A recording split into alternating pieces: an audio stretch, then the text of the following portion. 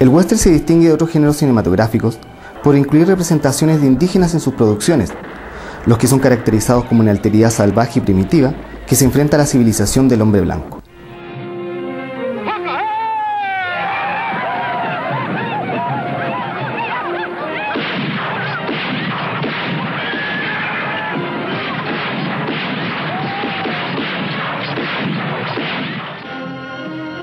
Sin embargo, los indígenas del oeste norteamericano fueron representados de manera cambiante a lo largo del siglo XX. Así vemos como la postura racista inicial fue dando paso a películas cada vez más reflexivas, que entregaron una visión menos halagadora del proyecto expansionista de los colonos blancos. Es en este momento cuando se comienzan a rescatar los valores culturales de los grupos nativos.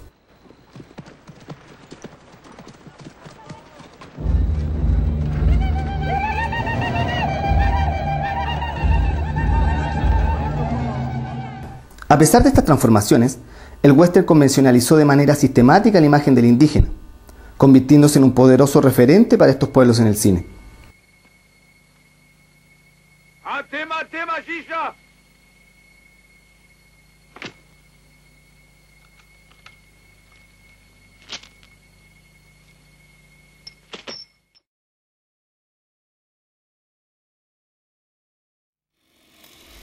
El primer registro cinematográfico de los Selnam fue realizado en 1918 por el sacerdote José María de Agostini. En este documental, los indígenas de Tierra del Fuego son presentados como parte de una descripción general de ese territorio austral.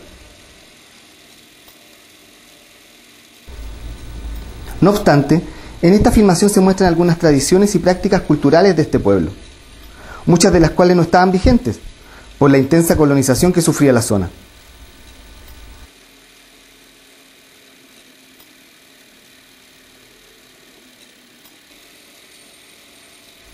Desde las filmaciones de Agostini, habrán de pasar más de 80 años hasta tener una nueva representación de los Selnam, pero esta vez desde el cine de ficción. La película Tierra del Fuego, obra del cineasta chileno Miguel Litín, se estrenó en junio del año 2000 en varias salas del país. En la cinta, ambientada en 1860, se narra las aventuras de Julius Popper, un rumano que toma posesión de los territorios al sur del estrecho Magallanes en nombre de su reina, Carmen Silva. Popper quería explotar el oro de Tierra del Fuego, para la cual busca el apoyo de Armenia, una prostituta italiana que financia la expedición.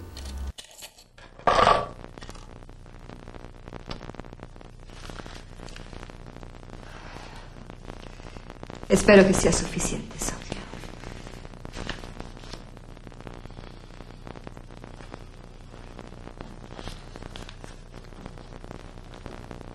En esta aventura les acompañan personajes de diferentes procedencias, casi todos europeos, quienes alistan en el ejército del páramo, enfrentando a la naturaleza del lugar y a sus habitantes originarios.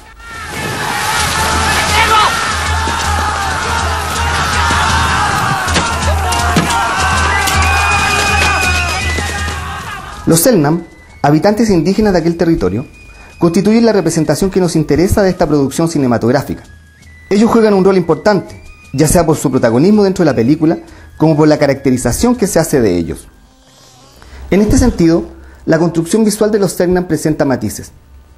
Por un lado, son una odrea salvaje que atenta contra los planes civilizatorios de Popper, pero además son una cultura enigmática y de gran armonía con la naturaleza.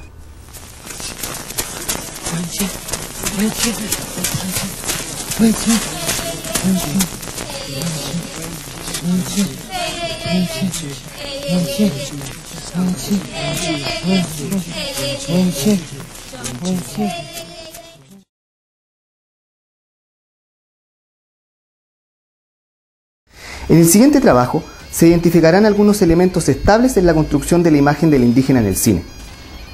Estos elementos se encontrarían tanto en el indígena del western como en el Segnam de la película Tierra del Fuego. Para ello, se trabajará sobre cinco elementos estables de la imagen indígena en el cine. Idioma, lengua a través de la cual se expresan los pueblos originarios. Flecha, artefacto utilizado frecuentemente para dar cuenta de la presencia indígena. Pinturas corporales, recurso dramático asociado a la apariencia física de estos pueblos, que además permite diferenciarlos del hombre blanco. Campamento. Se refiere a la presencia de una particular forma de exhibir el modo de vida de los pueblos indígenas. Ceremonias. Recurso utilizado en la puesta en escena, que tiene como función exotizar a estos pueblos en el cine.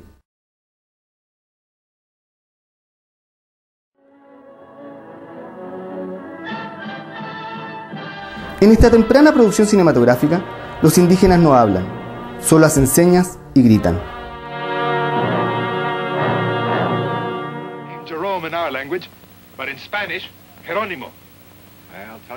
En un segundo momento, los indígenas hablan en español y son representados por actores mexicanos.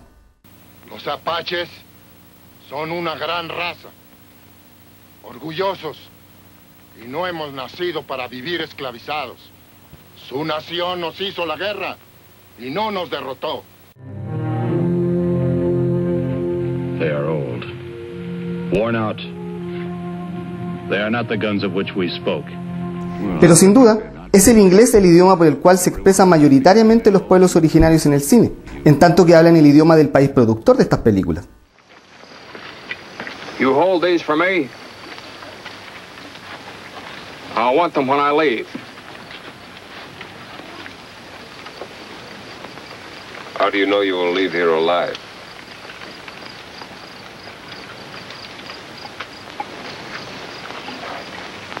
I am Cochise. Speak. En la década de los 70 surge otra estrategia de representación lingüística, en tanto que actores blancos aprenden diálogos en lengua indígena.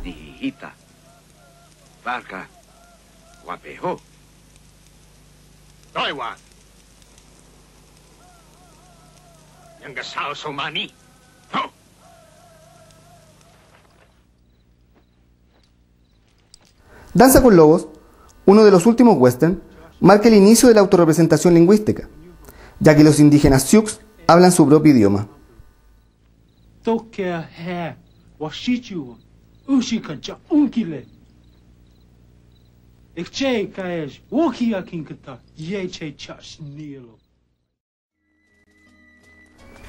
En Tierra del Fuego, los actores que representan a los Selnam tienen diálogos en una lengua indígena, de manera muy similar a los western de los años 70.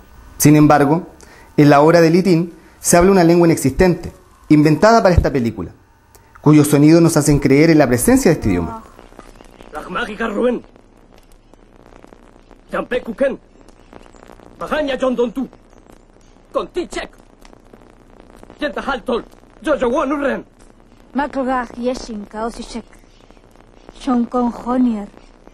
Corrienuskul, Kanasakashek.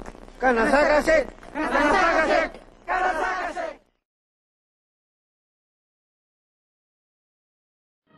Las flechas son un marcador claro del ataque indígena. Esto es interesante, porque si bien la mayoría de los atacantes lleva rifles, lo que denota la etnicidad de la agresión es la flecha. Otro dato que resulta interesante es que en general las flechas se clavan en las espaldas de los blancos, transformando este acto en una cobardía.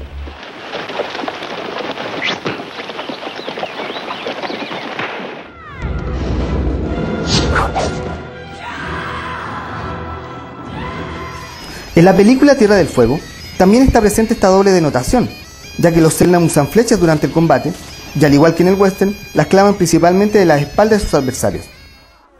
Cabe mencionar que no existen documentos históricos que registren combates en la magnitud de los que aparecen en la película de Litín.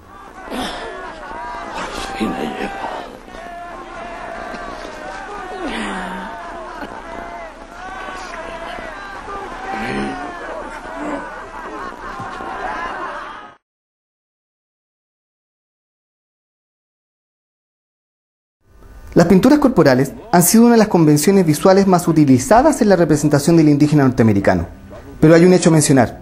Estas pinturas son atribuidas a la guerra y aparecen directamente relacionadas con el conflicto entre indígenas y blancos.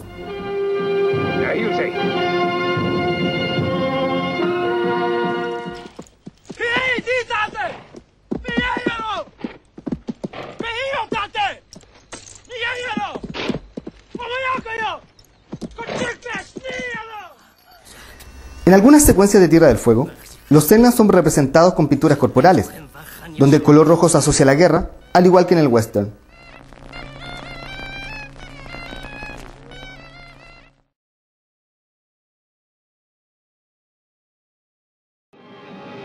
Otro elemento de comparación surge de la puesta en escena de los campamentos indígenas. Por su naturaleza altamente convencionalizada, estos siempre se muestran en un plano general tomado de la altura, entregando una panorámica de la vida indígena.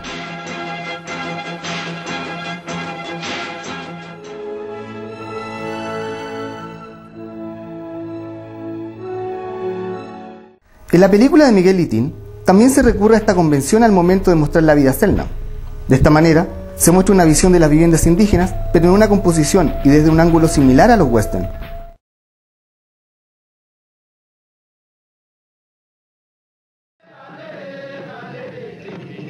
Las ceremonias de los pueblos nativos americanos, sobre todo se han expuesto en películas pro-indias, es decir, aquellas que exponen valores positivos de la cultura indígena.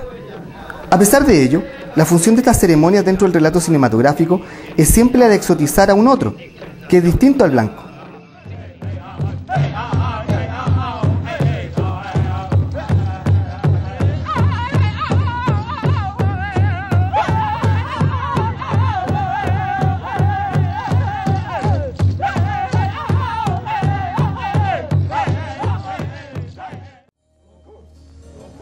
En la producción de Litín se muestra una ceremonia que propicia la lluvia y que tiene como función expulsar a los colonos llegados con Popper. No obstante, es importante señalar que esta ceremonia no tiene ningún referente etnográfico, resultando un montaje claramente exotizante.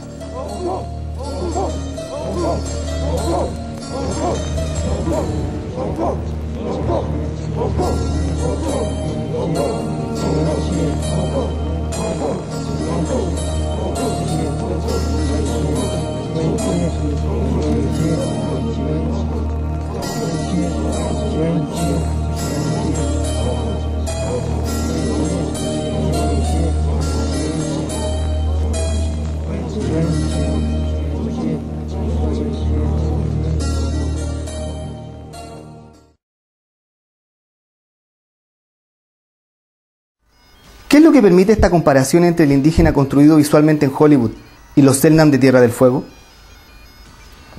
En primer lugar, el análisis que se ha realizado demuestra el alto grado de convencionalización del indígena en el cine, lo que se evidencia en la repetición constante de ciertos elementos culturales. Esto es observable en los distintos elementos que han sido comparados, los que revelan justamente esa repetición de atributos asociados a lo indígena. En segundo lugar, la comparación de estas imágenes coincide con lo que Christian Metz llama lo verosímil en el cine. Esto quiere decir que se muestran indígenas inventados, que en ningún caso son reales. Son indígenas construidos para cumplir una función exotizadora dentro del relato cinematográfico, además de ser una alteridad salvaje y primitiva. En la película Tierra del Fuego, el indígena que ha sido inventado por Litín toma atributos de distintos momentos del indígena representado en el western, los que posteriormente se traspasan a la imagen Selna. De esta manera, se demuestra que el indígena en el cine es producto de una construcción intercultural, sometido a una serie de convenciones que terminan por convertirse en referentes verdaderos de estos pueblos.